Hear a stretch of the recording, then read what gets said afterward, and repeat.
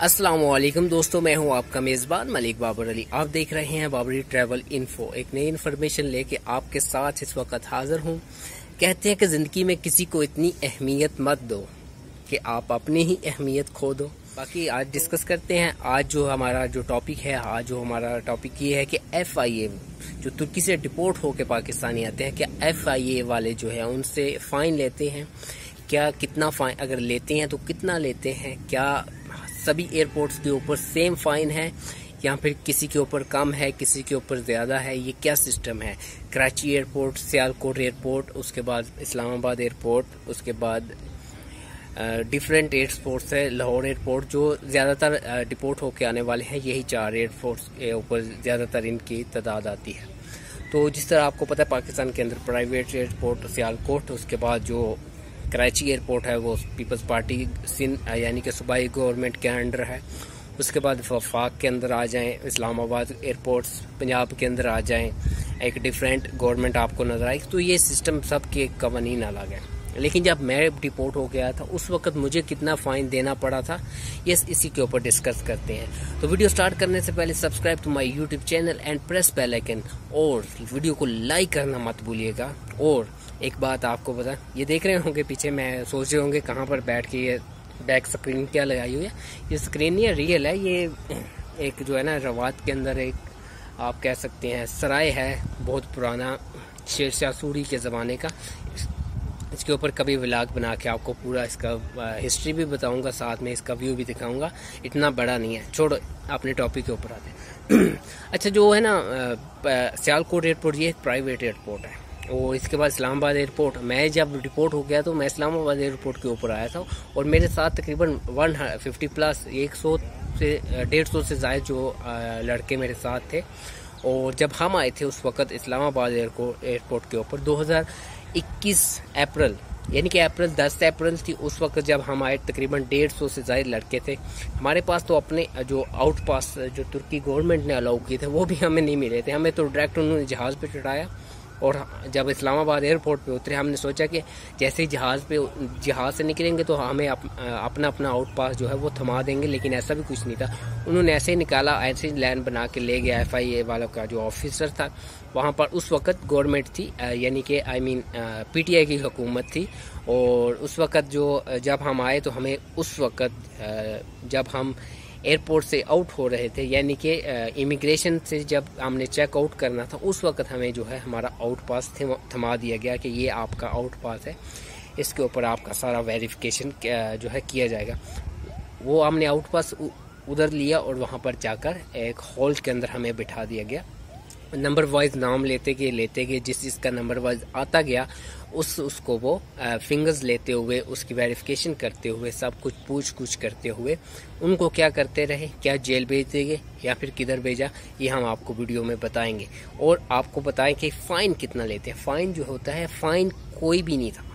जब 2021 की बात करें, उस वक्त हमसे एक रुपया भी फाइन ने नहीं लिया गया।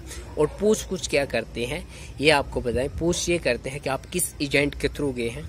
आपका जो है, एड्रेस क्या है? जैसी बात है, एक तो आपके जो है आउट पास के ऊपर, आपकी फ़ोटो कापी वगैरह के ऊपर जो है नज़र आ रहा है कि आप किस सिटी में फिर भी दोबारा उनको वेरिफिकेशन करने के लिए आपका जो मौजूदा पता है, वो पूछते हैं, जो उसके बाद जो है, आप किस सिटी से ये सारा वेरिफिकेशन करते हैं, आपका कॉन्टैक्ट नंबर वहाँ पर आपको लिखवाना पड़ता है, ये वो वगैरह वगैरह।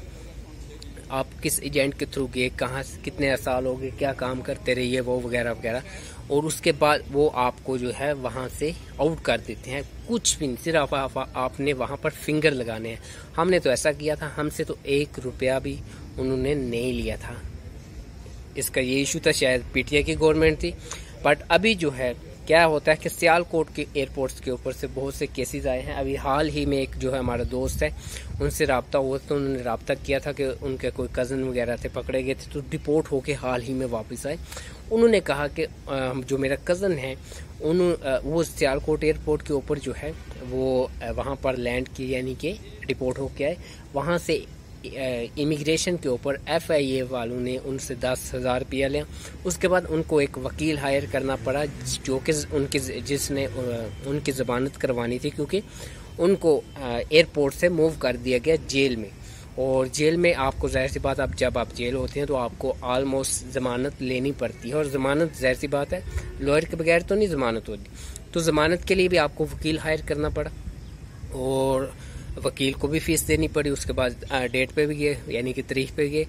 तो ये सारा सिस्टम अलग। वो उन्होंने बताया कि हमारा जो ऑलमोस्ट ये लास्ट जो केस मेरे पास आया ना डिपोर्ट होने वाला थर्टी फाइव थाउज़ेंड यानी कि पैंतीस हज़ार रुपया उन्होंने बोला कि मेरा भाई आ, मेरे कज़न जो है घर आने तक उनका लग चुका था।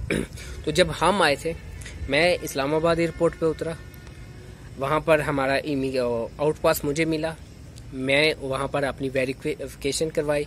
मैंने अपना जो है सारा डेटा वगैरह उन्होंने पूछा मैंने बताया कॉन्टैक्ट नंबर बताया जो भी वगैरह वगैरह मुझे मैंने सब कुछ बताया। मुझे बोला कि यहाँ पर आप फिंगर लगाएँ।